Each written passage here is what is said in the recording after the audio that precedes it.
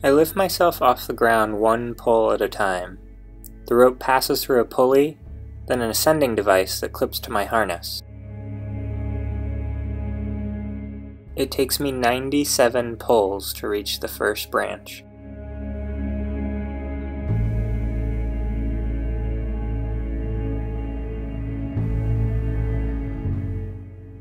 Wildlife catches my eye as I ascend.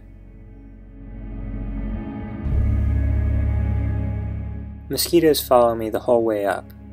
On the ground, most of them are small and black, but as I move into the canopy I notice that many of them are blue with long filamentous legs. Although, all their bites just feel the same.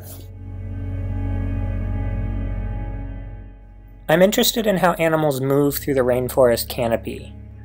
When I enter the treetops, I see a three-dimensional network of pathways that connect one tree to the next food to shelter, shelter to food. I want to know what a trail looks like for a monkey, a squirrel, a possum.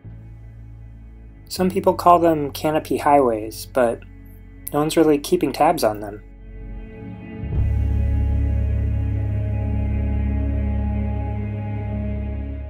I place motion sensitive cameras, or camera traps, in the canopy of the rainforest. Animals cross in front of the camera, and within a fifth of a second, it takes a photo. Then another. Then another.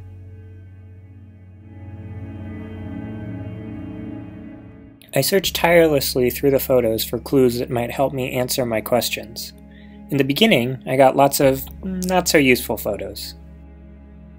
Me setting up cameras, or coming back to retrieve them, sliding out of view, or just striking a pose.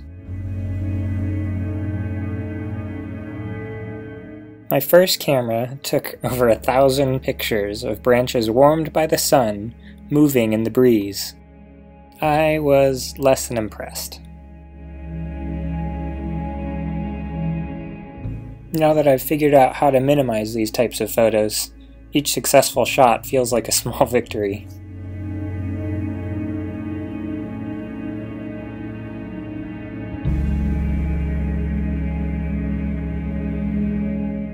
The quest for knowledge pushes science further and further into new frontiers.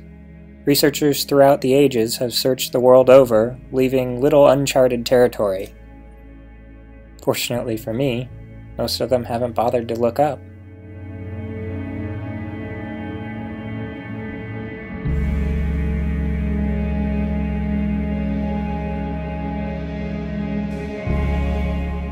My name is Kevin McLean, Yale Forestry student and National Geographic Young Explorers grantee.